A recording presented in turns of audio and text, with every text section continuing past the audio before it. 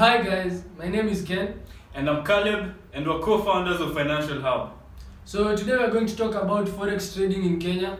And to be specific, we'll tackle some of the challenges that forex traders are going through while they're trying to trade the forex markets in Kenya.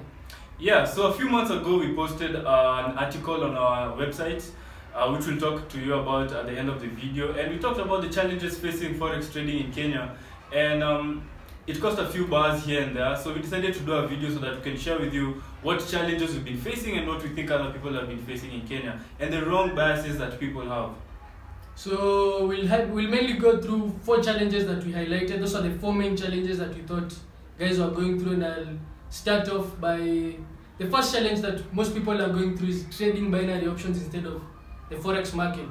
So binary options entails buying and selling, but it's called put and call and has an expiry date of about 15 seconds. So you basically use your phone to try and analyze and see where the markets are going. Not really analyze, but speculate where the markets are going, and it expires within 15 seconds.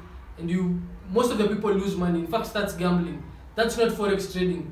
The forex market is quite different. You execute positions and hold positions for the time that you want. There are multiple time frames to be used in execution and analysis. So the forex market is really different from binary options, and we think that if you're trading binary options instead of the forex market, then you could be doing the wrong thing. So that was one of the main challenges that we, we really encountered. Yeah, second, um, in our challenges is having undercapitalized accounts. So what do we mean by undercapitalized accounts? Well, many people think they can start with little money and make millions of dollars um, in the forex market. Well, we're here to tell you that that is completely impossible. Um, you can start with hundred dollars or fifty dollars, and by that we mean five thousand Kenya shillings, two thousand Kenya shillings, and expect to make a million out of that. Well, in the forex market, just like any other business, you need enough amount of capital so that you can be able to um, to have a risk management skill um, and also have different opportunities. Because if you if you're undercapitalized, you'll see different opportunities that you can't take because you're simply undercapitalized. So having undercapitalized account with 5,000 bob, 10,000 is really little. So we advise people to start with a bit more, not less than $500, which is 50,000 Kenya shillings in the forex market. So the third challenge that we really discovered that most people were doing was using the wrong approach to trade the financial markets. So in the markets, you're going against some of the brightest minds. You're going against algorithms. You're going against hedge fund managers. Guys who have been trading for more than decades.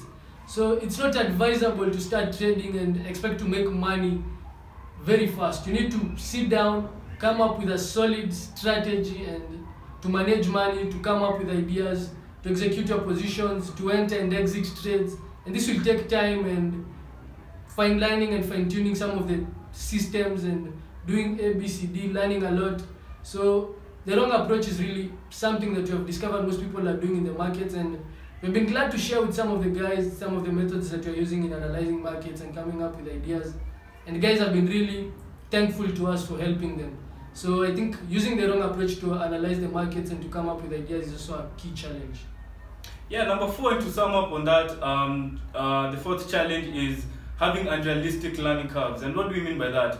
Basically, people think they can come to the forex market and become successful in two months, in three months, and they travel all over around the world. Well, that was the dream we had at first. Well, my friend here, Kenneth, had an account which he blew. He thought we were going to Dubai because he was really multiplying it in weeks. And one week later, all of it was gone. And from then, we sat down and decided, okay, this is a really serious industry. We need to sit down and be able to be profitable. So we've been trading for the past now about two years.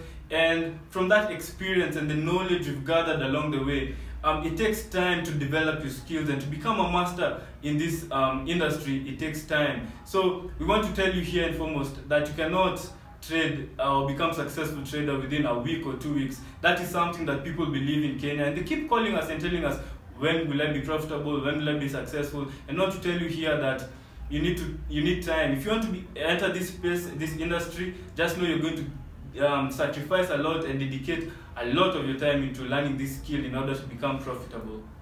Yeah. So the good news is, out of the four challenges that we highlighted, I and Caleb have been working on something that can solve at least three of those problems. And I think I'll pass it on to Caleb to share with you what you've been working on and how it can be of help to you.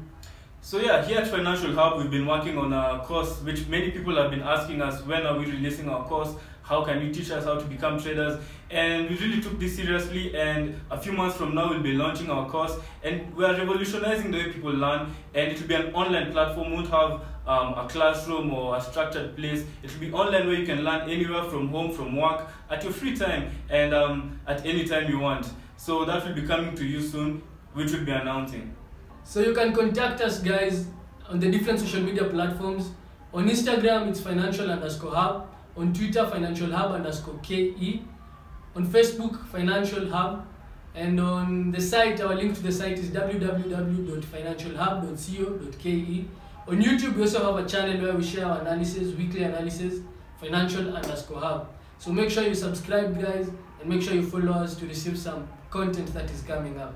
Yeah, to add on that, our site, we post articles on a weekly basis on our analysis and our approach to the markets, and also articles on psychology of how people trade and how people think.